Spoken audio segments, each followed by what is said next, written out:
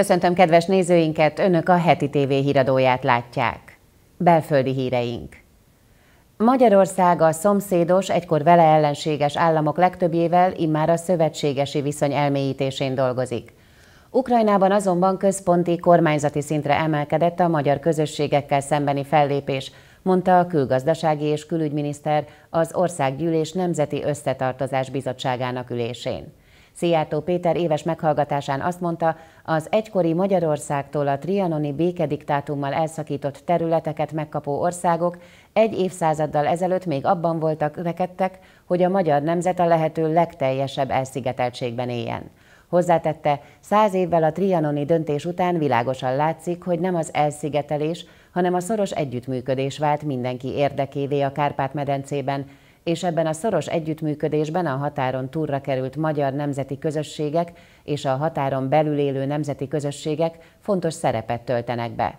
A magyar külpolitika alapja a kölcsönös tisztelet, és célja, hogy minden Magyarországgal együttműködő partnerségbe kerülő ország érdekelt legyen a mi sikereinkben, ahogy mi is érdekeltek vagyunk a velünk együttműködők sikerében, jelentette ki a miniszter.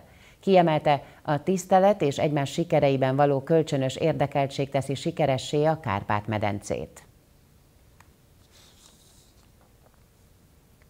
Az LMP felkéri a kormányt, hogy mi hamarabb kezdjen érdemi vitát az országgyűlésben az Európai Unió helyreállítási alapjából az országnak nyújtandó 5800 milliárd forint felhasználásáról.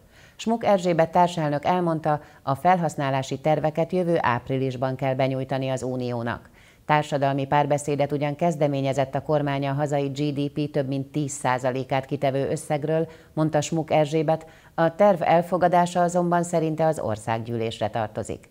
Emlékeztetett, az ország 2400 milliárd forintnyi vissza nem térítendő támogatáshoz jut, a fennmaradó részt pedig hitelként kapja. Beleszámít a fél év teljesítésébe az orvosi egyetemi hallgatók részvétele a koronavírus járvány elleni védekezésben. Az Innovációs és Technológiai Minisztérium az orvos és egészségtudományi egyetemek fenntartójaként minden feltételt biztosít nekik a fél év sikeres teljesítéséhez. A minisztérium emlékeztetett az orvosi egészségügyi képzésekben résztvevő hallgatók tanulmányi kredittel elismert gyakorlati tevékenységükkel, közreműködnek a pedagógusok és bölcsödei dolgozók a kormányhivatalok munkatársainak országos szűrésében, a klinikákon, kórházakban végzett betegellátási tevékenységekben, és segítik az országos mentőszolgálat koronavírus szűrési munkáját is. A Nyíregyházi Járásbíróság 2020. december 17-én a hűtlen kezelés és vesztegetés elfogadásának büntette, valamint felbújtóként elkövetett hamis magánokirat felhasználásának vétsége miatt indult eljárásban 2021. április 17-éig elrendelte Bige László gyanúsított bűnügyi felügyeletét. Ez idő alatt a gyanúsított lakóhelyét nem hagyhatja el, mozgását nyomon követő technikai eszközzel ellenőrzik, írja a Nyíregyházi törvényszék közleménye. Az ügyészi indítvány szerint a férfi többségi tulajdonosa és elnök vezérigazgatója egy növényvédelmi termékeket előállító cégnek. Az ügyészség a gyanúsított letartóztatását indítványozta arra hivatkozva, hogy kiemelkedően súlyos, 5-10 évig terjedő szabadságvesztéssel büntetendő bűncselekmény miatt folyik eljárás vele szemben. Így fennáll a veszélye annak, hogy szabadlábra helyezése esetén a nyomozó hatóság elől elszökne vagy elrejtőzne. A bíróság ezt nem tartotta megalapozottnak, megállapította, hogy önmagában a bűncselekmény tárgyi súlyosságából ilyen következtetés nem vonható le. Továbbá több éve folyamatban lévő eljárásban a gyanúsított ezidáig mindig elérhető volt a nyomozó hatóság számára. Dunai Mónika, a Fidesz országgyűlési képviselője, a frakció családügyi kabinetjének vezetője a heti TV Pirkada című műsorában beszélt az idei évről, Magyarország és választókerülete jövőjéről. A politikus szerint az idei év jelentős kihívásokkal volt teli, emiatt is idei karácsony is más lesz, mint a megszokott. A mostani járványhelyzetben a legideálisabb karácsonyi ajándék a szeretet kell, hogy legyen, meg az emberi élet. Idén az emberi életek mentése volt az elsődleges, mellette természetesen ugyanilyen fontos volt az emberek munkájának megőrzése, a magyar gazdaság helyreállítása. Sokan nem gondolták azt tavaly szilveszterkor, hogy a 2020-as évet teljes mértékben áthatja a vírus elleni küzdelem minden egyes embernek, minden egyes családnak.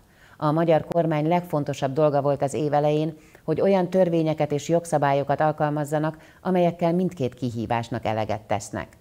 Magyarország más módszereket választott, mint más államok. Itthon a kormány azt akarta elérni, hogy a hazai vállalkozók megtarthassák a munkaerőt, hogy ne kelljen leépíteni. Mindezekhez jelentős forrásokat biztosítottak az állami költségvetésből, de ugyanilyen áldozatvállalást kértek az önkormányzatoktól és a pártoktól egyaránt. Külföldi híreink. Néhány perccel azután, hogy a néppárti frakció megbüntette, de nem zárta ki Deutsch Tamást, a politikus azt mondta Brüsszelben, hogy az Európai Néppártnak minél hamarabb döntenie kellene a Fidesz pártagságáról. A képviselő magyar újságíróknak az ülés után azt mondta, hogy a néppárti frakció elnöksége döntött úgy, nem teszik fel szavazásra a kizárásával kapcsolatos indítványt. Ugyanakkor több olyan frakciótag is volt, aki ragaszkodott volna ehhez. Hozzátette, a politikusok munkaköri kötelezettsége, hogy az ilyen következményeket maximális nyugalommal vegyék tudomásul. Dajcs szerint pozitív fejlemény, hogy a képviselőcsoport felszólította a pártot, minél hamarabb döntsön a Fidesz, a Fidesz tagságáról a néppárton belül. Az Európai Bizottság lezárta a Novavax amerikai gyógyszeripari vállalattal a koronavírus elleni lehetséges oltóanyagok beszerzéséről folytatott megbeszéléseket. A tervezett szerződés lehetővé tenni az Európai Unió számára 100 millió adag, illetve további akár még 100 millió adag oltóanyag megvásárlását, közölte a testület. A Novavax vállalattal folytatott megbeszélések lezárásával bővült az Európai Unió számára jövőben rendelkezésre álló oltóanyagok portfóliója.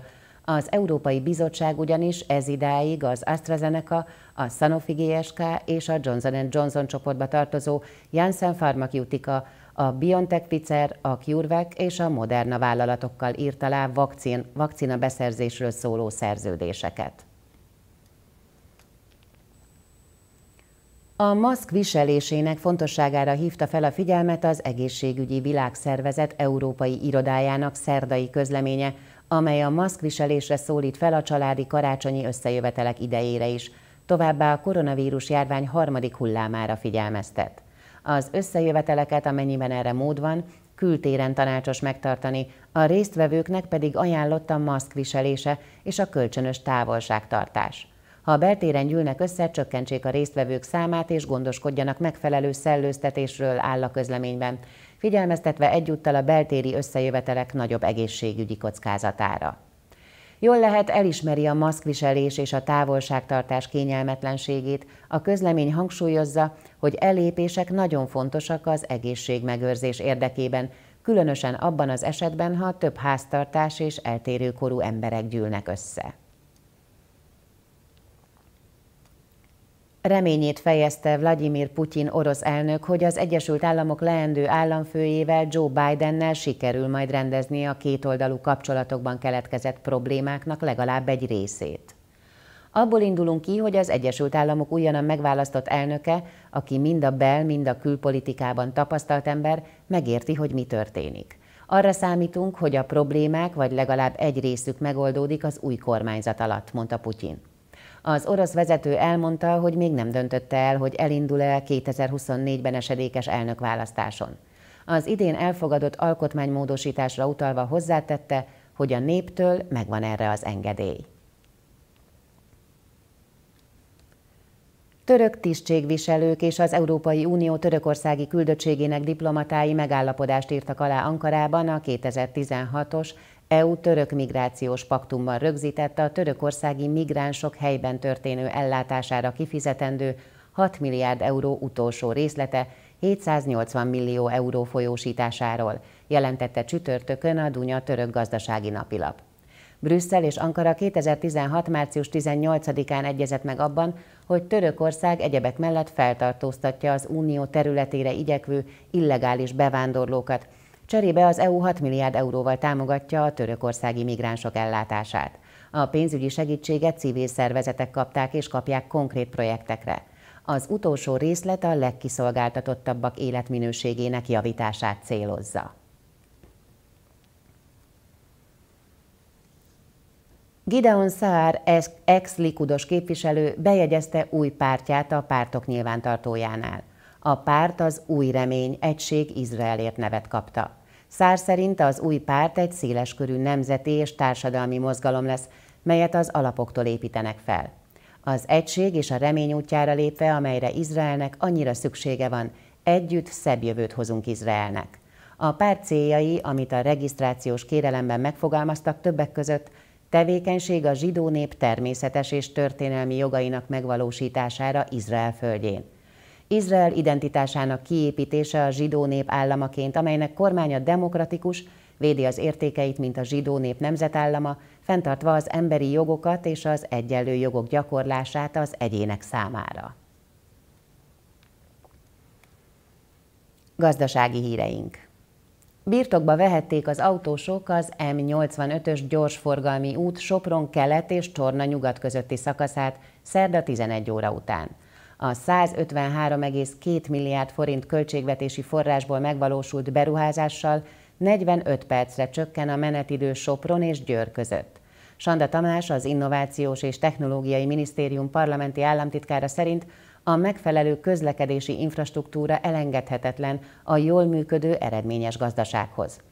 A most elkészült több mint 51 kilométeres útszakasz a térségben élő családok biztonságos közlekedését és a helyi vállalatok sikerét szolgálja.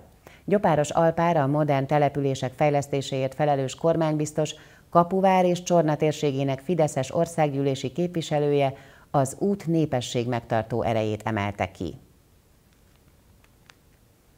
Híreinkről bővebben a brayerpress.com vagy a hetitv.com-on olvashatnak. Én köszönöm figyelmüket, szép napot, viszontlátásra!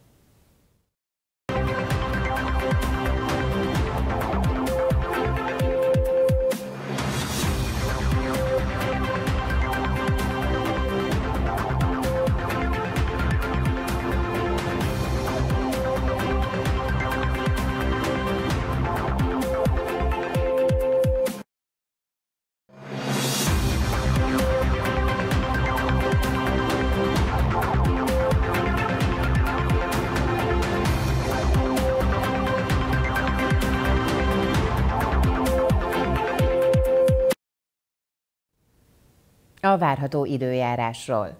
Szombaton is kitart az anticiklon, amely jelentős légköri változásoktól, frontoktól, széltől mentes, borongós szürke időjárást okoz helyenként tartós kötfoltokkal és szitálással. Jelentős mennyiségű csapadék nem hullik. A hőmérséklet függvényében a hajnali órákban foltokban ónos szitálás, hószálingózás is lehet.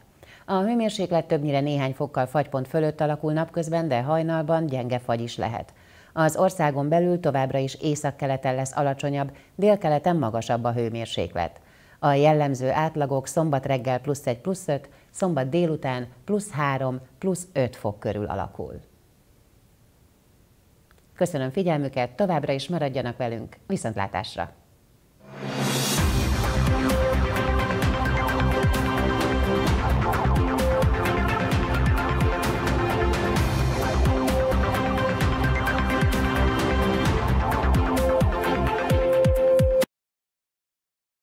A műsor együttműködő partnere az Ázsia Center.